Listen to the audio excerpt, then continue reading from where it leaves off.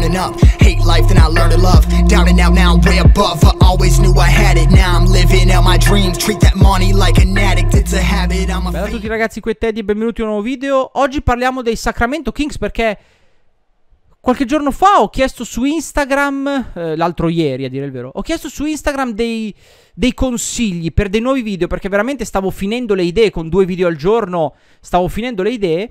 E eh, appunto mi sono arrivati tipo 300 messaggi in 5 minuti, una roba allucinante, ringrazio veramente tutti. E moltissimi di voi mi hanno chiesto Sacramento e Indiana, Sacramento Indiana, Sacramento Indiana, Sacramento Indiana, Sacramento Indiana. E allora oggi parliamo dei Sacramento Kings stamattina e degli Indiana Pacers oggi pomeriggio.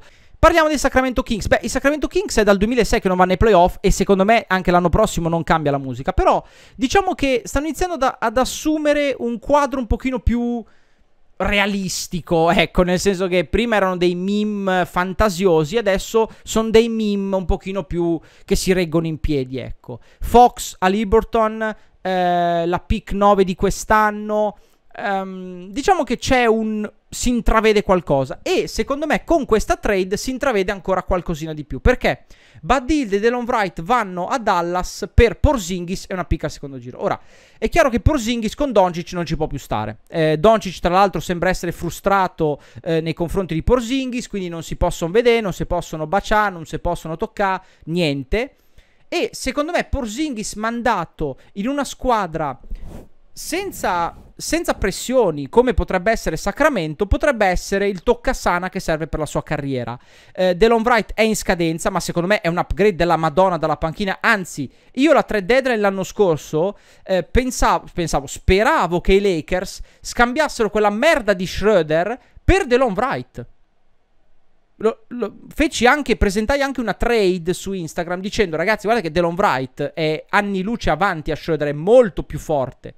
Purtroppo Schroeder è rimasto e abbiamo visto cosa è successo, ecco. Quindi, secondo me, Delon Wright dalla panchina per Dallas è un upgrade spaventoso. Pu- può, giocare anche a fianco a Doncic, secondo me, tranquillamente. Eh, Bud Hild si sposa benissimo con la visione del palla Doncic e quattro guardano. Eh, è un tiratore a tutti gli effetti, quindi... Ehm, non solo può tirare sugli scarichi, ma può anche crearsi il tiro. Certo, non è Jordan per carità, però pur di scambiare Porzingis, secondo me Sacramento riesce a mandarti questo pacchetto. Poi magari ci sarà magari un'altra seconda, un'altra scelta al secondo giro, eh, dentro può essere. Però diciamo che tra il contratto di Bud Hild e il contratto di Porzingis, diciamo che sono entrambi abbastanza brutti. È vero, Bud Hild è a scendere, quindi è 22, 20 e 18, che è un pochino più maneggevole del contratto a salire di Porzingis con la player option, sicuramente. Però, secondo me, un Porzingis in una squadra che non ha niente da dire come Sacramento può tornare a essere quello di New York. Mentre invece Dallas allunga parecchio la, la panchina con Delon Wright e eh, sostituisce Tim Hardaway Jr. con Bud Hild, che potrebbe essere anche un upgrade da questo punto di Ora, vista. Ora, una cosa che non ho detto è che Sacramento Contender non l'ho potuta fare, perché ovviamente non ci sono gli asset per Sacramento Contender, però aggiustare Sacramento secondo me si può fare. Parlando di Ben Simmons e una pick Qui Ben Simmons va per due pick al draft, più Bud Hild e Delon Wright ancora una volta, mentre invece Bagley viene spedito a Charlotte perché secondo me Charlotte ha bisogno di Bagley, secondo me ha bisogno di una squadra giovane, Bagley secondo me in quella squadra ci sta bene per quello che potrebbe dare, per la scelta numero 11 degli Charlotte Hornets, che secondo me, eh, ripeto, è vero che Sacramento vuole scambiare Bagley a tutti i costi o Bagley se vuole andare a tutti i costi, però Bagley è una scelta 2 e ha giocato poco, quindi tecnicamente il suo potenziale non ce l'hai, non lo sai. Secondo me Charlotte è anche incline a sacrificarla a 11, perché voglio dire, alla 11 le chance di trovare meglio di un Bagley in forma, che gioca convinto e eh, insomma il Bagley visto prima di entrare in NBA vale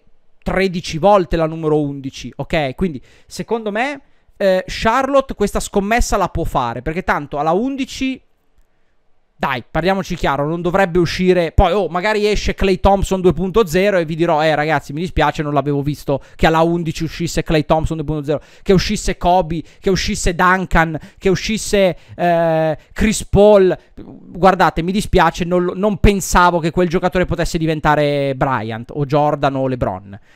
Però, secondo me, un Bagley che va in una squadra di giovani, e secondo me dove può avere i suoi tocchi è vero, c'è la Melo, però si corre, si viaggia e Bagley secondo me apprezza questo tipo di pallacanestro, che è quello che avrebbe voluto fare con Fox, a dire il vero. Ehm, chissà che magari quella numero 11 la possano sacrificare. Però andiamo nella, nel piatto forte, ovvero liberiamo Bagley, va via Rishon Holmes, prendiamo Ben Simmons. Fila prende Delon Wright dalla panchina, Bud Hild che va ad affiancare Seth firma Kyle Lowry, l'ho messo con la taxpayer mid-level exception, e, e allora abbiamo eh, Lowry, Wright, eh, scusate, Lowry, Curry, Hild, Harris e Embiid. Dalla panchina Wright, possono anche rifirmare Danny Green volendo al minimo salariale, volendo. Eh, hanno Maxey, hanno Tybull, quindi li tengono entrambi. Insomma, secondo me questa già è una squadrettina un pochino più eh, complessa rispetto a quella attuale, rispetto ai, ad alcuni buchi che ci sono adesso, soprattutto di spaziature. Insomma, aggiungi Bud Hild, aggiungi Lauri, aggiungi Wright dalla panchina. Secondo me inizia ad essere una squadra molto interessante da questo punto di vista. Sacramento, Ben Simmons da 5, con Fox, why not? Eh, George Hill per questioni salariali appunto perché eh, Sacramento può assorbire questi contratti, quindi già che ci siamo ti prendi anche George Hill, tanto la pick numero 11 ti soddisfa, quindi ti prendi anche George Hill. Beh, secondo me in questo caso fila eh, sarebbe più paurosa rispetto alla fila dell'anno scorso e di due anni fa. Eh, Charlotte per me aggiunge un pezzo importante. Io continuo a credere in Bagley. Mi dispiace, sarò anche troppo biased nei suoi confronti, ma io credo in Bagley. E Sacramento avrebbe Fox, Liburton, Ben Simmons da 5. E anche qua vanno ai playoff? Probabilmente no. Però inizia a mettere Ben Simmons in una squadra spensierata dove si gioca, si corre, si viaggia e mettilo da 5. E poi vediamo quali sono i risultati fra un paio d'anni. Ecco. Quindi, secondo me questa trade ovviamente non accade mai, perché non accade mai. Eh, però così tanto per ridere poteva starci. Le due pick che manda Sacramento sono la 23 protetta in lotteria e la 25 eh, protetta top 5. Allora, la 23 protetta in lotteria si può anche abbassare, volendo si può mettere anche top 10. Però nel 2023, quindi fra due anni, forse Sacramento eh, ai playoff ci può anche, potrebbe anche andarci. Non sappiamo come sarà l'Ovest fra due anni. E magari Sacramento con Fox, Aliburton, Simmons e una firma importante, o comunque una firma discreta, potrebbe anche andare ai playoff. Quindi questa pick poi eh, è alta sarà una 18, 17, 16, quel che l'è. E poi nel 2025 ne riparliamo. Però, secondo me, potrebbe, Sacramento potrebbe rischiarsela. Eh, ovviamente è utopica questa perché Simmons a Sacramento non ci va e Fila non ci va. Però per Delon Wright, Bad Hilde, due prime e la possibilità di firmare Lauri in free agency con i soldi risparmiati appunto da questo scambio.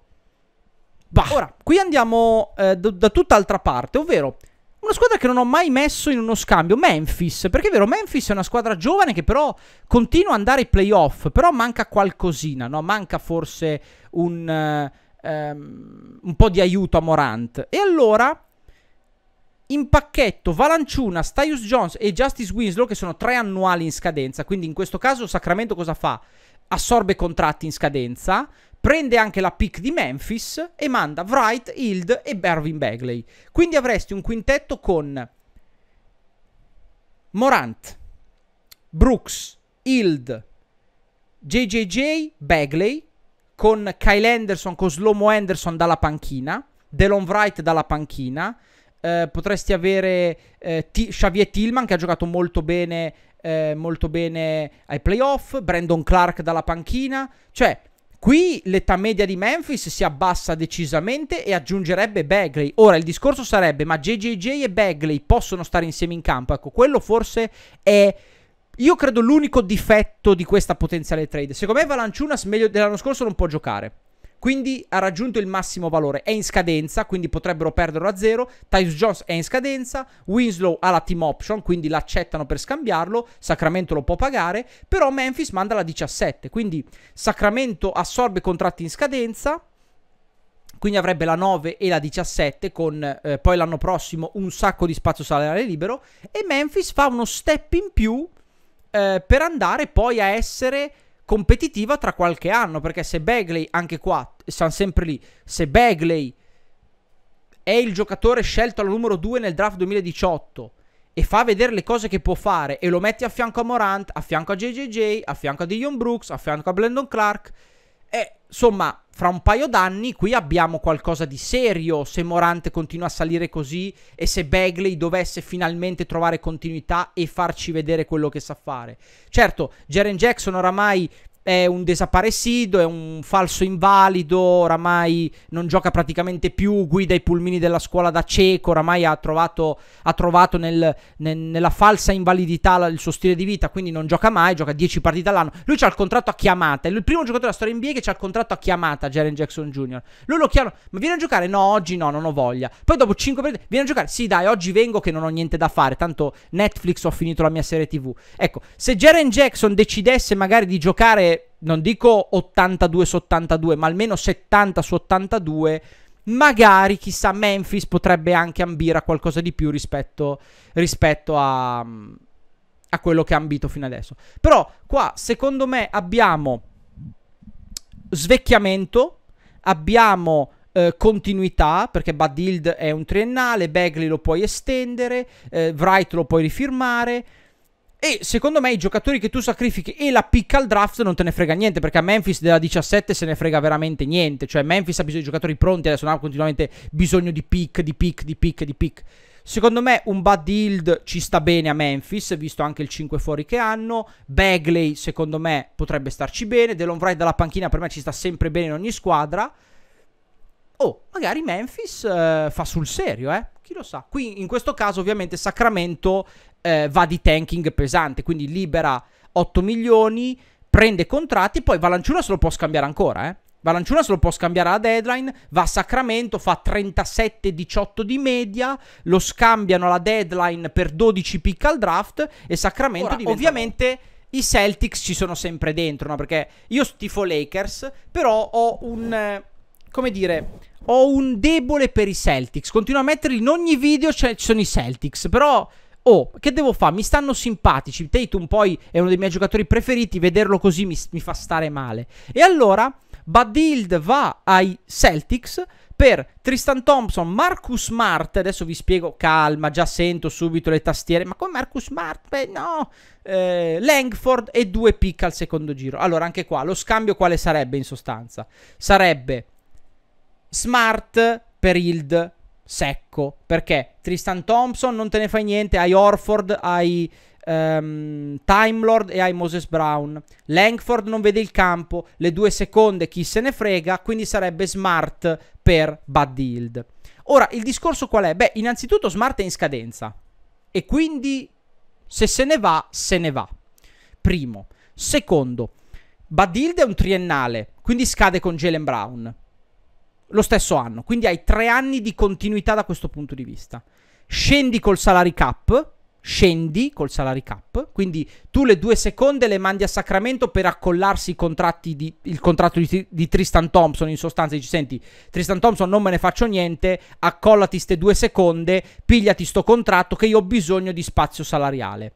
Smart, ripeto, è vero, in difesa è un cagnaccio e sapete che per me Smart è la Mamba Mentality incarnata. Però Smart ultimamente ha fatto girare un po' i coglioni a tutti, compreso il suo ex allenatore Brad Stevens. E allora non so fino a che punto Smart voglia rimanere a Boston lui e eh, gli altri vogliano che lui rimanga. Ecco. Quindi, secondo me, in questo caso aggiungi un altro scorer. È vero, ti manca sempre il playmaker in questo caso, perché perderesti Smart. Avresti Hild, Brown, Tatum, Time Lord o Brown, Hild, eh, Tatum e Orford. Poi dipende dal quintetto. Manca il play. Però intanto inizia a liberare altri 5 milioni. Inizia a liberare altri 5 milioni ehm, per fare spazio a giocatori, per fare spazio a un play magari eh, che possa aiutare. Avrei potuto mettere Delon Wright qui, avrei potuto mettere anche Delon Wright qui e sarebbe stato Wright, Hild, Brown, Tatum, Morford, per dire. Secondo me Delon Wright può giocare anche playmaker in una squadra da titolo, ve lo dico proprio chiaro e tondo. Eh, non sono un fanboy, ma secondo me Delon Wright ha le caratteristiche necessarie per poter essere quel giocatore.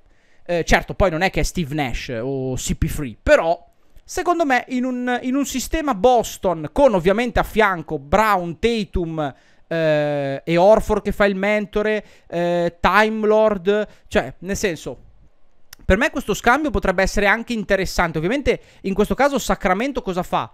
Assorbe Tristan Thompson lo lascia scadere. Langford se lo mette da parte lo fa giocare. Eh, le due seconde, grazie, me le tengo magari per, per, spostarmi più in alto al draft. E Smart poi lo riscambia alla deadline. Anche qua, Smart lo fa giocare, lo, lo... oppure lo gira subito. Magari Sacramento prende lo manda da qualche altra parte immediatamente. Una trade a tre. Ovviamente poi le vie del Signore sono infinite, anche le trade sono infinite. Poi mandatelo, mandatemi Smart ai Lakers per Kuzma. Io so, so oh, firmo oggi, eh. Smart ai Lakers un annuale per quella merda di Kuzma, firmo subito, me ne frega un cazzo che annuale, cioè non me ne frega proprio un cazzo che annuale. L'anno prossimo può andare dove vuole, però un anno di Smart con LeBron e Davis firmo. Oh, parlando di merde, Parlando di merde, c'è la merda di Kuzma, ce l'ho fatta, avete visto? Però stavolta non si muove Bud Hild perché il contratto di Bud Hild è un po' brutto per i Lakers. Preferisco decisamente quello di Harrison Barnes. Perché? Perché Barnes è un biennale come LeBron. Di conseguenza, LeBron e Barnes scadrebbero insieme. Che è già meglio perché Bud Hild invece avrebbe un anno in più. E insomma, mm, ecco.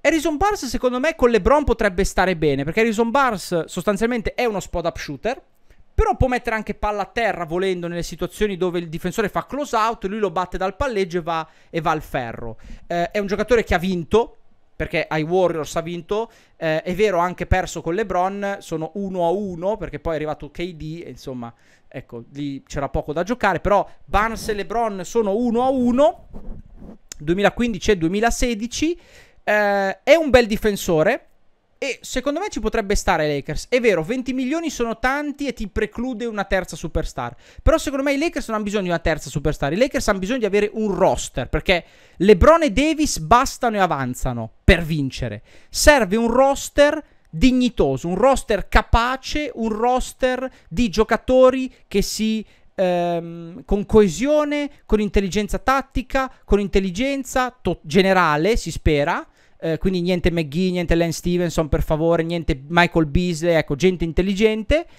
E perché LeBron e Davis sono già esagerati di loro, non c'è bi- veramente bisogno di una terza stella, serve una squadra però. Ecco, secondo me Barnes in quest'ottica ci sta benissimo. Ovviamente sacrifichi quella merda che torna a giocare con Walton, quindi eh, va a fare 60 punti di media con Walton come faceva i Lakers, corre, tira, fa quel cazzo che vuole, così Sacramento tank all'infinito, prende 8 8 scelte al primo giro nei prossimi 8 anni. Eh, McKinney fuori dal cazzo perché sono soldi regalati. La scelta al secondo giro per facilitare l'addio della merda. E Montreselone credo che esca dal, dalla player option. Quindi ho tolto la player option di Errol perché secondo me non ha senso per lui rimanere a Los Angeles, visti i playoff che non ha giocato. Quindi secondo me Errol andrà a cercare soldi eh, da qualche parte, essendo un ex sesto uomo dell'anno, andrà a cercare soldi, più soldi dei 10 milioni di mid-level exception. E i Lakers risparmiano pure. Quindi in tutto questo liberiamo una merda un contratto inutile di McKinney, una pick che non ce ne frega niente, Errol che tanto se ne va comunque e prende Harrison Barnes, che secondo me è un giocatore ottimo per i Lakers, soprattutto con Fitzdale e Vogel in panchina. S- sarei veramente contento di vedere sta trade, ve lo giuro. Da tifoso Lakers sarei contentissimo. Non tanto per la merda, ma quanto per Harrison Barnes. Secondo me sarebbe una presa molto interessante. Oh Dio, what? What? Kyrie? Kyrie a Nola? What? Yes. Kyrie e Delon Wright a Nola. Occhio perché adesso devo spiegarvi un paio di cose. Allora, partiamo dal presupposto che Lonzo fa sign and trade e saluta. Ok? Quindi i Pelicans adesso devono fare sul serio. Perché? Perché Zion sta iniziando a dire Eh però, eh però, Ecco, quindi cosa facciamo? Prendiamo l'ostetrico. Kyrie, l'ostetrico Irving. Non so se l'avete visto il video di lui che fa partorire la moglie in una vasca da bagno. Quindi l'ostetrico. Ora, eh, chiaramente i Nets per scambiare Kyrie si allargano e si allargano decisamente. Perché? Perché arrivano il top 300 all time. E adesso vi spiego perché. Calmi, lo so che... Allora, lo so che questa trade suona male, suona malissimo, eh, pare una barzelletta. Lasciatemi spiegare qual è il significato dietro e poi potete scrivermi che fa comunque cagare. Tranquilli. Poi potete dirmelo comunque che fa cagare. Però almeno ascoltatemi prima. Allora, quindi, i Pelicans si mettono sul groppone Kyrie e Delon Wright, ok? Per permettersi Delon Wright mandano Bledsoe e 3 seconde. Perché comunque Bledsoe è un contratto importante. Tu vuoi avere Kyrie, ok? Quindi vuoi lo spazio per avere Kyrie, vuoi lo spazio per avere Delon Wright come backup PG. E allora Bledsoe e 3 seconde, quindi regali sostanzialmente 3 secondi a Sacramento pur di avere Kyrie in squadra, ok? Non te ne frega niente delle, delle, scelte al secondo giro, che te ne frega se prendi Kyrie, ok? Quindi tu vuoi facilitare il più possibile questo scambio. E allora secondo me 3 pick al secondo giro possono starci. Ricordo che Bledsoe è un biennale, ma è un non garantito sull'anno prossimo, quindi se lo tagliano all'inizio dell'anno prossimo i Kings risparmierebbero 14 milioni, ok? Ora per fare posto eh, a eh, tutti i giocatori che prende Brooklyn, Brooklyn deve mandare DeAndre Jordan e Shemet a Sacramento. Ora, siccome sarebbe DeAndre Jordan e Shemet per Bud Hild e ho messo Justin James perché se no poi Sacramento aveva troppi giocatori e Brooklyn non ha praticamente più nessuno a, a roster, ovviamente Brooklyn deve sacrificare tutto perché ovviamente DeAndre Jordan è un contratto inguardabile. Shemet è una team option, però Badild è meglio di gran lunga. E allora vanno via 3 seconde anche di Brooklyn e la picca al primo giro di quest'anno, che è la scelta numero 27, se non sbaglio. Yes, è la scelta 27, stavo guardando il mio foglio. Un lapsus. Quindi sarebbe DeAndre Jordan, Shemet, scelta 27 e 3 seconde per Buddy Hield. Ok? Ora, Badild è un contratto triennale garantito, anche qua difficilmente scambiabile. Sacramento vuole velocizzare il tanking, vuole velocizzare il fatto di avere contratti leggeri a roster. E allora Badild può essere mosso per, secondo me, questo tipo di offerta. DeAndre Jordan, tanto chi se ne frega, Shemet lo paghi poco. 3 seconde che puoi muovere sempre per eh, prendere qualche pick eh, late first round e appunto parlando di pick late first round la 27 di Brooklyn. Chiaramente ehm, Nola manda Steven Adams, Kira Lewis Jr., la numero 10 al draft e una pick futura perché arriva Kyrie Irving. È vero, Kyrie è in scadenza, però chiaramente Steven Adams non è abbastanza, Kira Lewis non è abbastanza e allora la 10 ci deve stare dentro e anche la pick 2023 secca. Perché la pick 2023 non ha protezione? Perché secondo me Nola nel 2023 avrà una squadra abbastanza buona da comunque andare ai playoff. Quindi quella pick sarà comunque eh, non bassissima, non sarà una top 5 secondo me, sarà una pick verso la 20, ok? Anche perché, ripeto, l'Ovest fra due anni non si sa come è messo, eh? Perché Kawhi può andare a Est, LeBron scade fra due anni, ehm, cioè, nel senso, occhio perché l'Ovest fra due anni veramente eh, scade Wall, ad esempio, a Houston, ehm attenzione che tutto è sicuro tranne che l'Ovest nel 2023. Quindi Nola può, insomma, con Ingram, Zion, Kyrie, insomma, secondo me possono far rumore. Ecco, quindi Nola è vero che investe il futuro e investe tanto, ma Nola non può fare altrimenti. Cioè, New Orleans è letteralmente in win now, non, magari non win now, ma try now. Cioè, Nola non può rimanere ferma, impassibile, deve rischiare qualcosa, perché col talento che ha in squadra non può stare ferma e osservare, ok?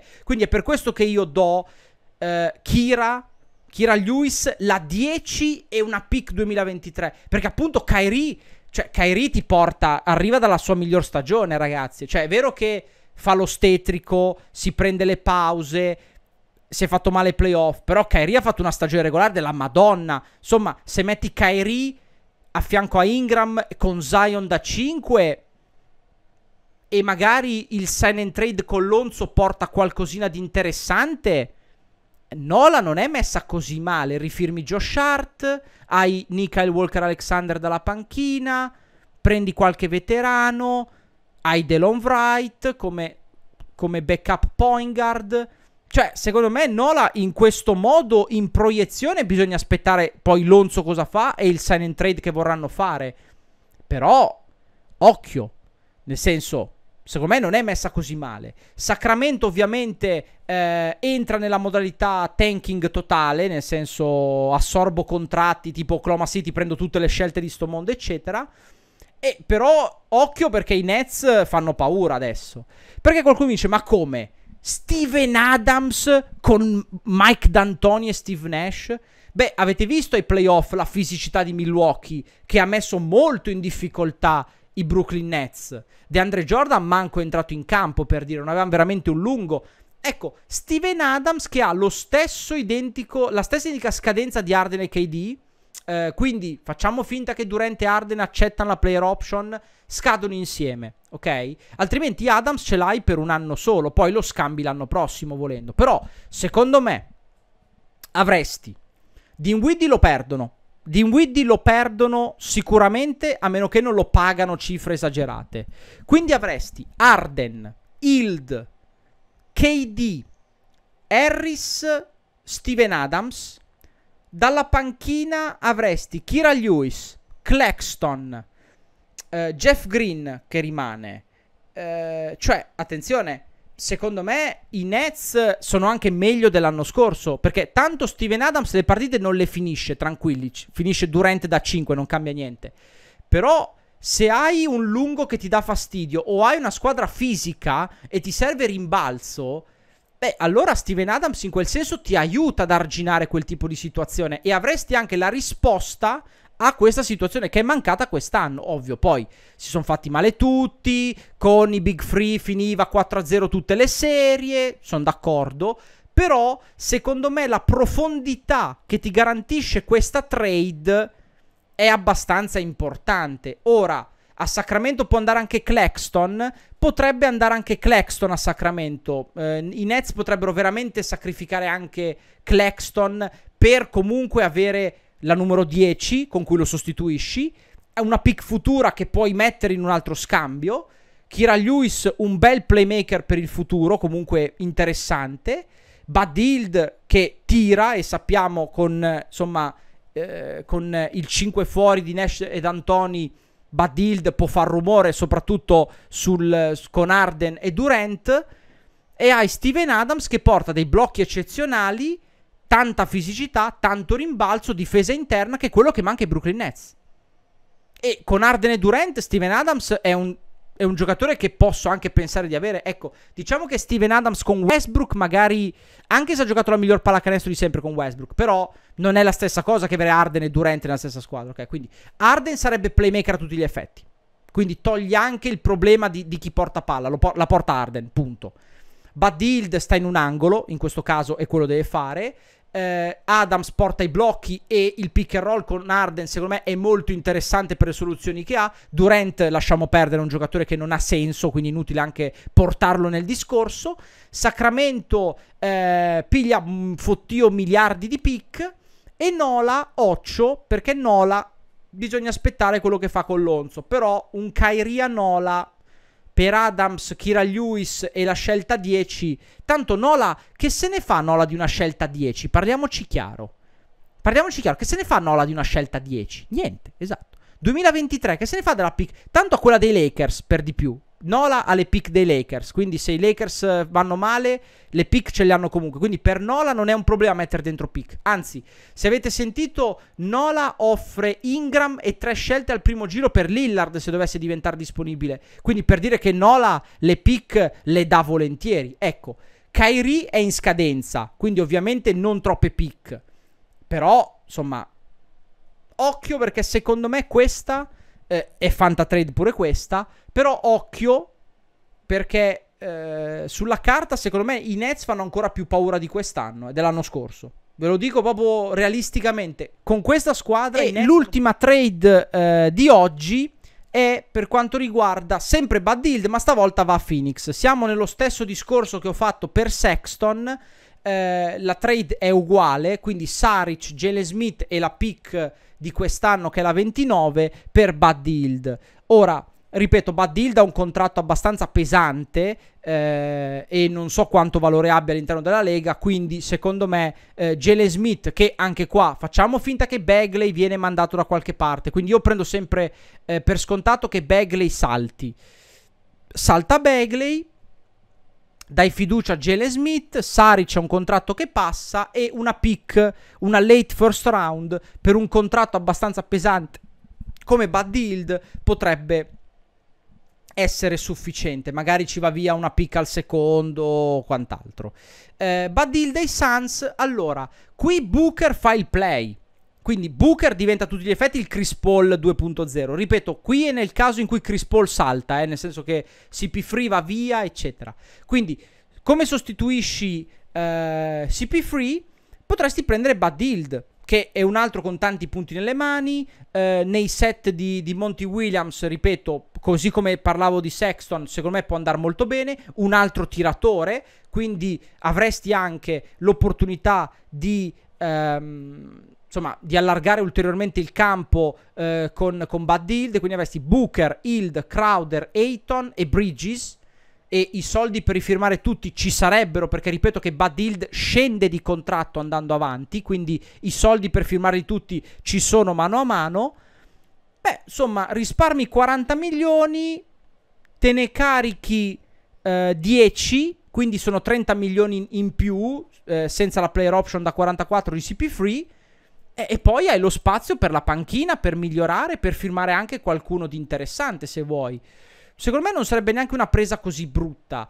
Uh, in questo caso, ripeto, Sacramento uh, anche qua punta su Jalen Smith, sacrificando, uh, sacrificando Bagley, prende una late first round. Non so che valore abbia Bud Hild, però diciamo che comunque un Bud Hild a Phoenix secondo me potrebbe anche starci bene. Ora, ripeto, queste trade non vedevano Sacramento contender perché è impossibile. Migliorare Sacramento, onestamente, ehm, secondo me Sacramento deve fare quello che sto facendo, cioè liberare il contratto di Bud Hild, perché veramente tre anni per... Cioè, tenere un triennale del genere per Sacramento è zapp- letteralmente darsi la zappa sui piedi, è zapparsi i piedi in maniera violenta e sadica. Eh, quindi Scambia Bad Hild, liberati di quel contrattone, prendi contratti in scadenza, prendi qualche pick, prendi magari un qualcuno che possa esserti più d'aiuto, tipo Porzingis, sai, magari eh, ci scommetti su Porzingis, visto che Bagley dovrebbero perderlo.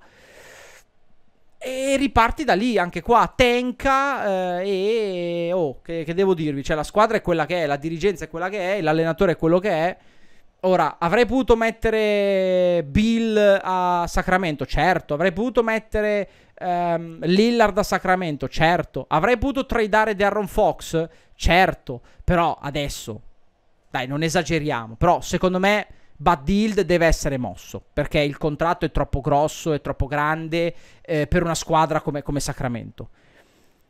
E poi vedi cosa prendere, insomma, da Bad Hild. Secondo me, comunque, qualche squadra che vuole fare un saltino in più di qualità lo può prendere, ovviamente alle giuste richieste. E Sacramento torna un pochino più a respirare salarialmente parlando, ecco. Quindi io onestamente punterei su Porzingis. Quella di Porzingis la farei per Wright e e Badild. Io Porzingis gli darei fiducia a Sacramento. Mi piacerebbe. Sarei curioso di vedere Porzingis a Sacramento in un, in un, ambiente più soft, più rilassato, dove magari può giocare vicino a canestro. E soprattutto bisogna vedere cosa ottengono per Bagley indietro. Perché è vero che vuole essere scambiato e quant'altro, però una numero 2 al draft. Quindi, insomma, c'è sempre un po' di come dire, sì sì ragazzi va bene, ok, Bagley sta male, ha giocato poco, però è una scelta due al draft, eh, nel senso calma, andate a vedere cosa faceva, cosa faceva prima di entrare in NBA, ecco, non vorrete mica che vi svendiamo Bagley, ecco. Fatemi sapere cosa ne pensate allora, ci vediamo per il video del pomeriggio su Indiana, io vi ringrazio vi saluto, ci vediamo al prossimo video.